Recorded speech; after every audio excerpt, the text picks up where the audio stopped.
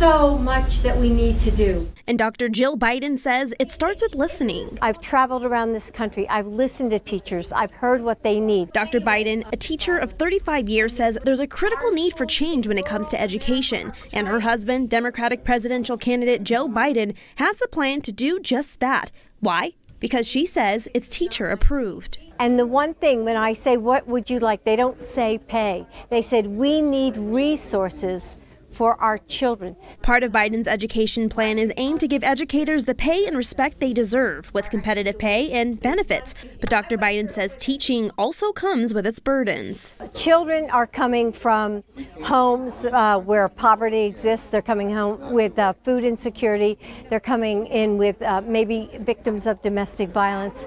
And so our teachers are so burdened, I think, with trying to teach their subject area and then trying to help all these children through life's problems. Joe Biden's plan is to invest in mental health resources to help students grow so educators can focus on teaching.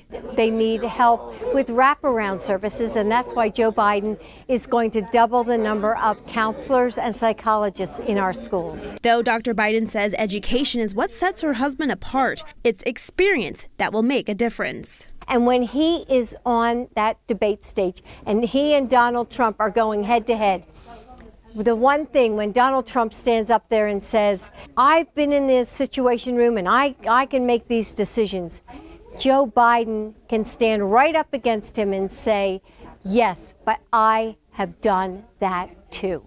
Alexis Gorey, News 3.